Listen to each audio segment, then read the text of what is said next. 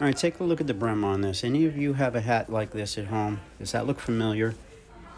It's curling upward into little triangular corners if you look at that. It's little corners. And it wants to just curl this up. This is what I've been talking about for a long time. This is like a pretty new Stetson temple. This man brought it in. Look at the brim. How many of you guys have this at home? Temples, Stratoliners.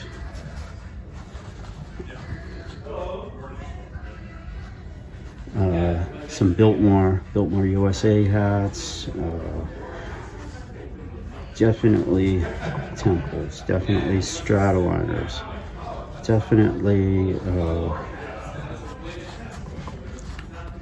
fedoras from uh, that particular brand and, and other brands. Um, this is what you call thin felt. This is a new hat. I don't know if you can see it. Texture of it, felt it's new. Except the brim is drawing into corners. See that? It's, it's curling into these little triangle-like corners. And even this spray I used on it, the steam will make these curls get worse and worse. They're gonna curl upwards like that. This is what you call thin felt. It's an example of a, uh, a hat company cutting corners in a place that hat wearers will not see or care about. If they use cheap leather, plastic, paper, it's obvious and it looks cheap. If you use fur felt that's made of rabbit and just a touch of beaver, you can say it's a beaver rabbit blend and you can make it as thin as you want. Thin, thin, thin, thinner. Stiffen the hell out of it. And as soon as the first bit of moisture, steam, or rain gets on it, this is what happens. That's why I always tell people look for thick felt. It's no joke. You want to spend $200 on a new hat that looks like this? You can do it. My advice to you is look for thick felt. With brands like Selentino, Akubra. Anything that looks really thick, hardy, is a good snap. You're good.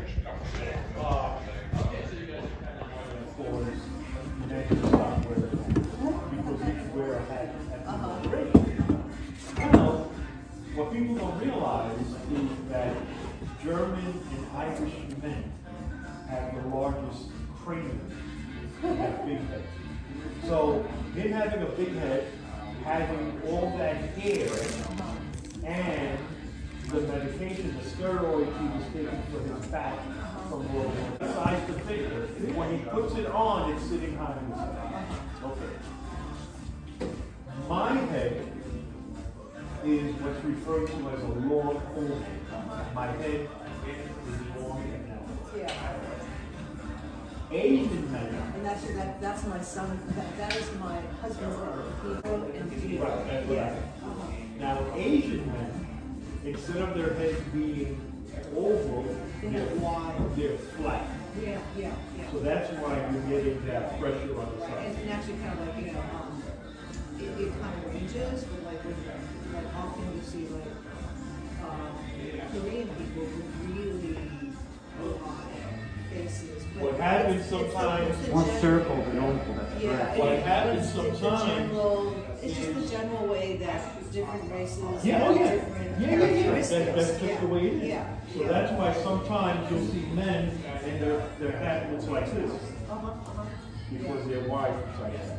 So what I'm proposing to start, and it's not gonna compromise the integrity of the hat, the brim, or anything.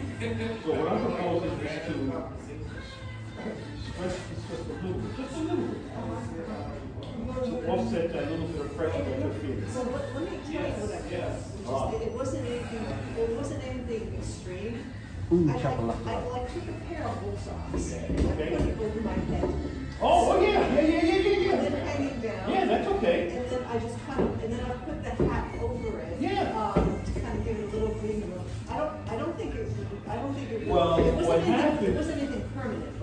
but it Right, was. no, but what happens, or what, what you're lacking is some, some, something, in our case, is gonna be heat to soften the felt so that it can mold. Uh-huh. And I, I think the other thing is, I think I need a little bit of a pinch to kind of keep it on. Sure, no, you need to have some sort of pressure. Let me just close this door. Oh, thank you, sir. All right, so let's try this.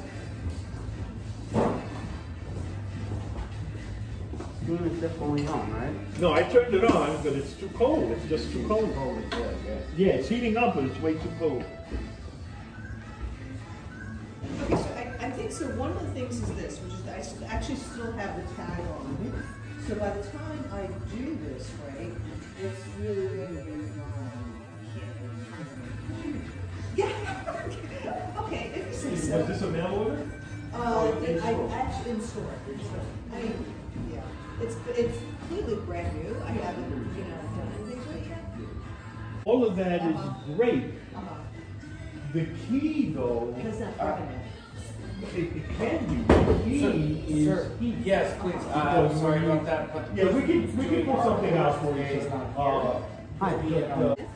Uh, in the felt, in the felting process is, uh. This is not my department, so I can't really do much about that. And, and, um, but our first meeting Monday, and so, That's what. Let's meet. Uh, it would be best if you call it, it's really busy in the store, and I got a customer waiting right now. Um, we're on Saturday, so I really apologize. Um, but our, our person who put together everything is Ligardi, L-I-G, Ligardi, L-I-G, and I ask for him specifically. And then that I would pay, maybe back in the day, when there was, when there was collected beavers and using the pelt, that's what the whole craze. L, yes, Ligardi, L-I, Consume the idea. G, as in guy, Just like whale blubber. A, R, They used to make water. Ligardi. Thing, right? Just Yep. Yep. Yeah, as long as you say Ligardi, yeah, you're good. He would person to to about all that, uh, I got some. Okay, so I don't have what I need. because- So we'll get this worked out. Uh, let me just try something. Thank you so much, sir, have a wonderful day. What's the Uh, we do. Uh, right now, my selection is a little bit limited because we've been waiting for some deliveries. Uh, but I have closest to this is is a what they refer to as an outback shape. This has an outback feel to it.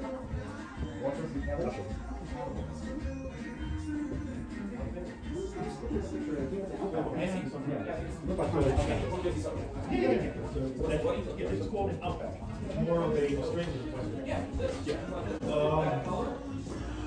buddy. Fucking hell, man.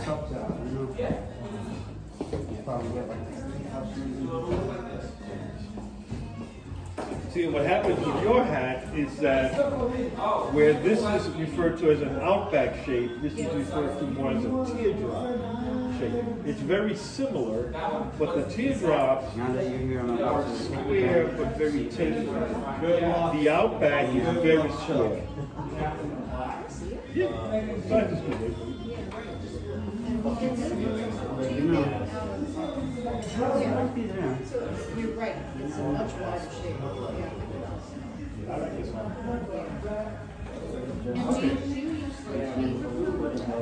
No, okay, so generally, no, these are all made out of felt. Felt is a non-woven material. All the hats that you see here are made out of felt,